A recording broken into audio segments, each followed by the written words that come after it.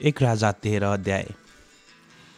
यहुदाबाट आएका परमेश्वरका जन एक जसै यारोबाम वेदीको नजिक बलिदान चढाउनलाई उभिरहेका थिए तब परमेश्वरको एक जन परमप्रभुको वचन लिएर यहुदाबाट बेथेलमा आए। दुई उनले परमप्रभुको वचनद्वारा त्यस वेदीको विरुद्धमा खराएर भने हे वेदी वेदी परमप्रभु यसो भन्नुहुन्छ दाउदको घरानामा योसिहा नाउँ भएको एकजना छोरो जन्मनेछ त्यसले यहाँ बलिदान चढाउने डाँडा डाँडाका थानका पुजारीहरूलाई तमाथि नै बलिदान चढाउनेछ र तमाथि मानिसका हड्डी जलाइनेछन्। त्यही दिन परमेश्वरको जनले एउटा यस्तो चिन्ह दिए।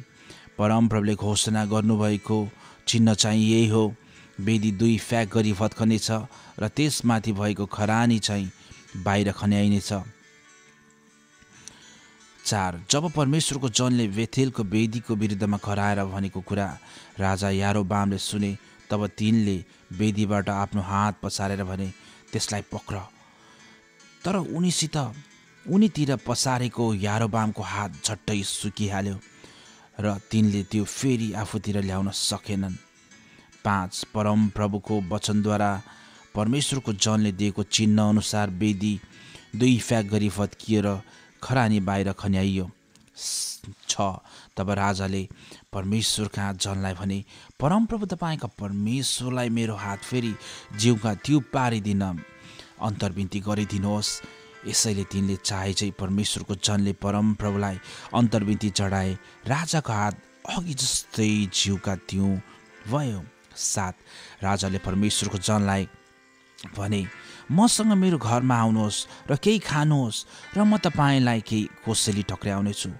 आठ तर परमेश्वरको जनले राजालाई जवाब दिए। तपाईँले मलाई आफ्नो आधै सम्पत्ति दिनुभए तापनि म तपाईँसित जाने छैन न त यहाँ रोटी खानेछु वा पानी पिउनेछु। नौ किनभने परमप्रभुको वचनले मलाई यो आज्ञा गरेको छ तैँले त्यहाँ रोटी नखानु अथवा पानी नपिउनु र तँ आएको बाटो फर्केर नजानु। यसकारण उनी अर्कै बाटो भएर गए र उनी बेथेलमा आएको बाटो भएर फर्केनन्। एघार त्यस बेला बेथेलमा एकजना वृद्ध गमवक्ता थिए। तिनका छोराहरू आएर बेथेलमा त्यस दिन परमेश्वरको जनले गरेका सबै कुरा तिनलाई सुनाइदिए। उनले राजालाई भनेका कुरा पनि तिनीहरूले आफ्ना बुवालाई सुनाइदिए। बाह्र तिनीहरूका बुवाले तिनीहरूलाई सोधे उनी कुन बाटो लागे? तिनका छोराहरूले यहुदाबाट आएका ती परमेश्वरको जन गएको बाटो तिनलाई देखाइदिए। तेह्र यसैले तिनले आफ्नो छोराहरूलाई भने मेरो निम्ति गदामा जिन लगाम कसिदियो जब तिनीहरूले गदामा जिन काठी कसिदिए तब तिनी त्यसमा चढेर चौध ती परमेश्वरको जनलाई पहिल्याउन गए। तिनले उनलाई एउटा फलाटको रुखमुनि बसिरहेको भेट्टाए र तिनले भने एउटाबाट आएका परमेश्वरको जन तपाईँ नै हुनुहुन्छ। उनले भने जियो म नै हुँ। पन्ध्र। यसैले ती अगमवक्ताले उनलाई भने मसँग आएर केही खानपान गर्नुहोस्। सोह्र। परमेश्वरको जनले भने म तपाईँसँग फर्केर जान सक्दिनँ न त म यस ठाउँमा तपाईँसँग रोटी अथवा पानी नै खान सक्छु। सत्र। परमप्रभुको वचनले मलाई भनेको छ तैँले त्यहाँ रोटी नखानु अथवा पानी नपिउनु र तँ आएको बाटो नफर्किनु। अठार। ती वृद्ध अगमवक्ताले जवाब दिए म पनि तपाईँ जस्तै एकजना अगमवक्ता हुँ। परमप्रभुको वचनद्वारा मसँग खान र पिउन तपाईँलाई मेरो घरमा ल्याउनु भनी एउटा स्वर्गदूतले मलाई भन्नुभएको थियो।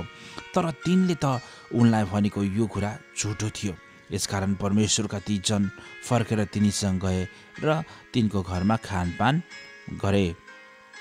बिस। जब तिनीहरू टेबिलमा खानपान गर्दै थिए तब उनलाई फर्काएर ल्याउने ती वृद्ध अगमवक्ता कहाँ परमप्रभुको वचन आयो?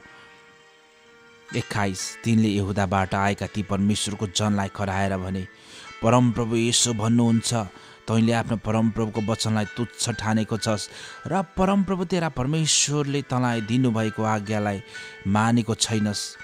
उहाँले मनाइ गर्नुभएको ठाउँमा रोटी खान र पानी पिउन तँ फर्केर आइस। यसकारण तेरो मृत शरीर तेरा पिता पुर्खाहरूको चिहानमा गाडिने छैन। तेइस जब ती परमेश्वरको जनले खानपान गरिसके तब उनलाई फर्काएर ल्याएका ती अगमवक्ताले उनको निम्ति आफ्नो गदामा जिन काटी कसिदिए। चौबिस जब उनी गइरहेका थिए तब एउटा सिंहले उनलाई बाटोमा भेट्टाएर मार्यो र उनको लास बाटैमा पडिरह्यो गदा र सिंह चाहिँ दुवै छेउमा उभिरहेका थिए। पच्चिस त्यही बाटो भएर जाने कोही मानिसहरूले त्यो लास बाटैमा फ्याँकिएको र त्यस सिंहलाई लासकै छेउमा उभिरहेको देखे र गएर ती वृद्ध अगमवक्ता बसेको सहरमा त्यो समाचार सुनाइदिए। छब्बिस तब उनलाई यात्राबाट फर्काएर ल्याएका ती अगमवक्ताले यो कुरा सुने। तब तिनले भने उनी त त्यही परमेश्वरका जन हुन् जसले परमप्रभुको वचनलाई टेरेका थिएनन्। परमप्रभुले उनलाई सिंहको मुखमा पर्न दिनुभएछ र परमप्रभुको वचनले चेतावनी दिए झै त्यस सिंहले उनलाई फराएर मारेछ।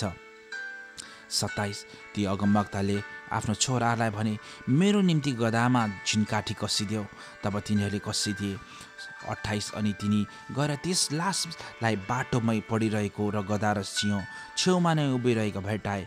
त्यस सिंहले त्यस लासलाई खाएको थिएन र गदालाई पनि फराएको थिएन।